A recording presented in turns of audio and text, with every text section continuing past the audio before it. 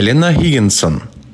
In einem Brief aus dem Jahre 1880 hat sie eine ihrer endzeitlich geprägten Visionen niedergelegt.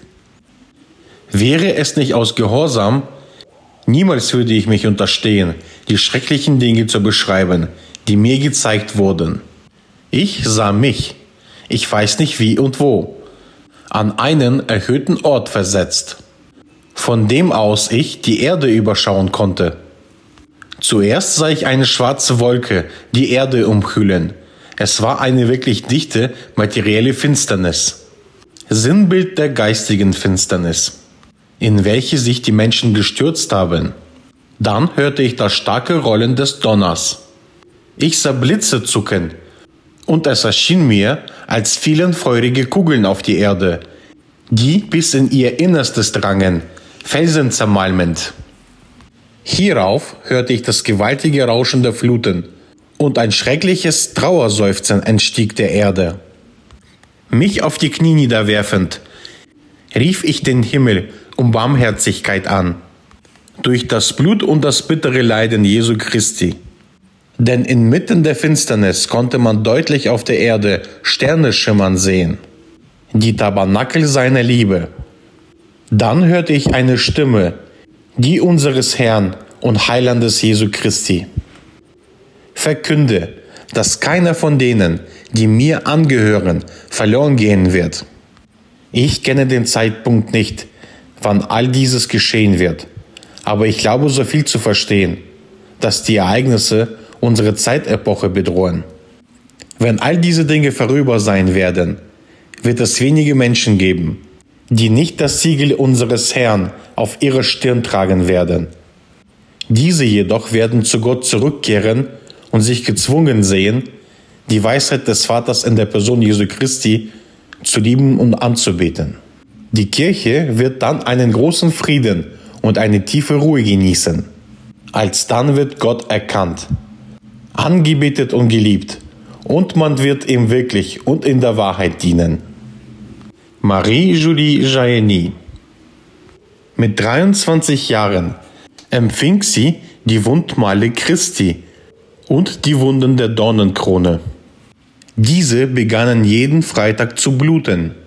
Im Zustand der Ekstase sah sich häufig Bilder zukünftiger Ereignisse.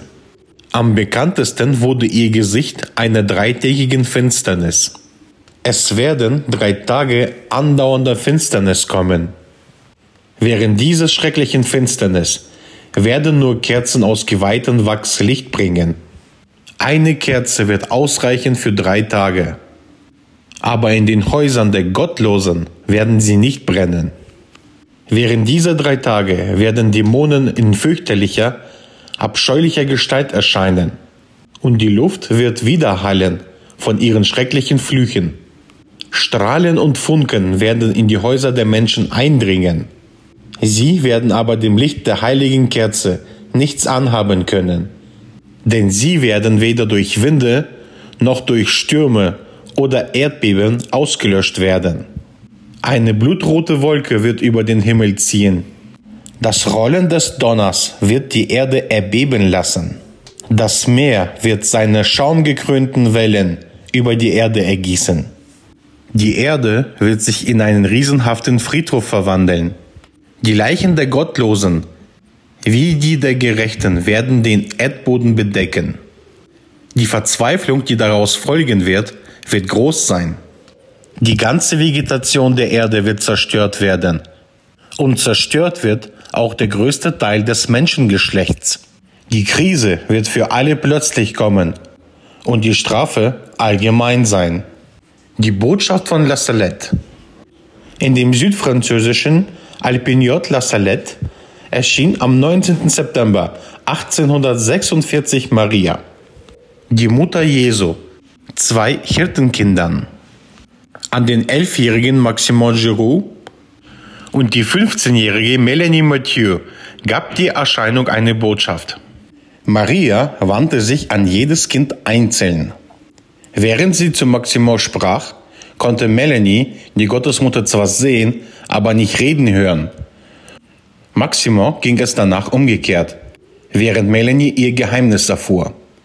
Beide Geheimnisse wurden später von den Kindern niedergeschrieben und Papst Pius IX. übergeben.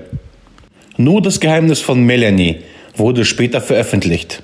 In dem Geheimnis von Melanie beklagt Maria das liederliche Leben der Geistlichen, die Geldgier, den Ehrgeiz und die Respektlosigkeit gegenüber den göttlichen Geheimnissen. Dann heißt es weiter. Frankreich, Italien, Spanien und England werden im Kriege sein. Das Blut wird auf den Straßen fließen. Der Franzose wird mit dem Franzosen kämpfen, der Italiener mit dem Italiener. Schließlich wird es einen allgemeinen Krieg geben, der entsetzlich sein wird. Für eine Zeit lang wird Gott weder Italiens noch Frankreichs gedenken, weil das Evangelium Christi ganz in Vergessenheit geraten ist. Die Bösen werden ihre ganze Bosheit entfalten. Man wird sich töten, man wird sich morden bis in die Häuser hinein. Auf den ersten Hieb seines Schwertes, das wie ein Blitz einschlagen wird, werden die Berge und die ganze Natur vor Entsetzen zittern, weil die Unordnung der Menschen und ihre Verbrechen das Himmelgewölbe durchdringen. Paris wird niedergebrannt und Marseille verschlungen werden. Mehrere große Städte werden niedergebrannt und durch Erdbeben verschlungen werden. Man wird glauben, alles sei verloren. Man wird nur Menschenmord sehen. Man wird nur Waffengetöse und Gotteslästerung hören. Die Gerechten werden viel leiden. Ihre Gebete, ihre Bußübungen und ihre Tränen werden bis zum Himmel emporsteigen und das ganze Gottesvolk wird um Verzeihung und Erbarmen flehen und meine Hilfe und meine Fürbitte anrufen. Dann wird Jesus Christus durch eine Tat seiner Gerechtigkeit und seiner großen Barmherzigkeit für die Gerechten seinen Engeln befehlen, alle seine Feinde dem Tode zu überliefern. Plötzlich werden die Verfolger der Kirche Jesu Christi und alle der Sünde ergebenen Menschen zugrunde gehen und die Erde wird wie eine Wüste werden. Dann wird Friede, die Versöhnung Gottes mit dem Menschen werden. Man wird Jesus Christus dienen, ihn anbeten und verherrlichen. Die Nächstenliebe wird überall aufblühen. Die neuen Könige werden der rechte Arm der heiligen Kirche sein, die stark, demütig, fromm, arm, eifrig und eine Nachahmerin der Tugenden Jesu Christi sein wird. Das Evangelium wird überall gepredigt werden. Und die Menschen werden große Fortschritte im Glauben machen, weil es Einigkeit unter den Arbeitern Jesu Christi geben wird und die Menschen in der Furcht Gottes leben werden. Dieser Friede unter den Menschen wird aber nicht von langer Dauer sein. 25 Jahre reichlicher Ernten werden sie vergessen lassen, dass die Sünden der Menschen die Ursachen aller Strafen sind die über die Erde kommen. Ein Vorläufer des Antichrist wird mit seinen Truppen aus vielen Völkern wieder den wahren Christus, den alleinigen Retter der Welt, kämpfen. Er wird viel Blut vergießen und die Verehrung Gottes vernichten wollen, damit man ihn wie einen Gott ansehe. Die Erde wird dann mit allerlei Plagen geschlagen sein. Es wird Kriege geben, bis zum letzten Kriege der dann von den zehn Königen des Antichrist geführt wird, welche Könige von einem gleichen Vorhaben beseelt sind und die einzigen sind, welche die Welt regieren werden. Bevor dieses eintritt, wird es eine Art falschen Friedens auf der Welt geben. Man denkt an nichts anderes als an Belustigungen. Die Bösen geben sich allen Arten von Sünden hin. Aber die Kinder der heiligen Kirche die Kinder des Glaubens, meine wahren Nachahmer, werden in der Liebe zu Gott und in den Tugenden unter Führung des Heiligen Geistes wachsen. Ich werde mit ihnen kämpfen, bis sie zur Fülle des Alters gelangen. Die Natur lechzt nach Rache wegen der Menschen und bebt vor Entsetzen in Erwartung dessen, was über die durch Verbrechen besudelte Erde hereinbrechen soll. Zittert, du Erde und ihr, die ihr Gelübde zum Dienste Jesu Christi abgelegt habt und die ihr innerlich euch selbst anbetet, zittert, Denn Gott geht daran, euch seinen Feinden zu überliefern, da die heiligen Orte in Verderbnis sind. Zahlreiche Klöster sind nicht mehr Häuser Gottes, sondern die Weiden des Asmodeus, Teufel der Unkeuschheit und der Seinen. So wird es um die Zeit sein, wenn der Antichrist geboren wird, von einer jüdischen Ordensfrau, einer falschen Jungfrau, die mit der Schlange, dem Meister der Unzucht im Bunde stehen wird. Sein Vater ist Bischof. Bei seiner Geburt wird er Gotteslästerung ausspielen. Er wird Zähne haben, mit einem Worte, dieser ist ein fleischgewordener Teufel. Er wird in ein schreckliches Geschrei ausbrechen. Er wird Wunder wirken. Er wird sich nur von der Unzucht nähren. Er wird Brüder haben, die zwar nicht so wie er fleischgewordene Teufel, wohl aber Kinder des Bösen sind.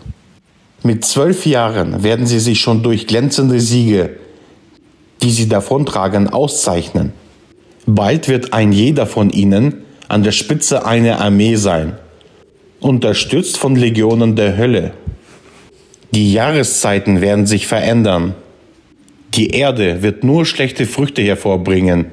Die Sterne werden ihre regelmäßige Bahnen verlassen. Der Mond wird nur ein schwaches rötliches Licht wiedergeben.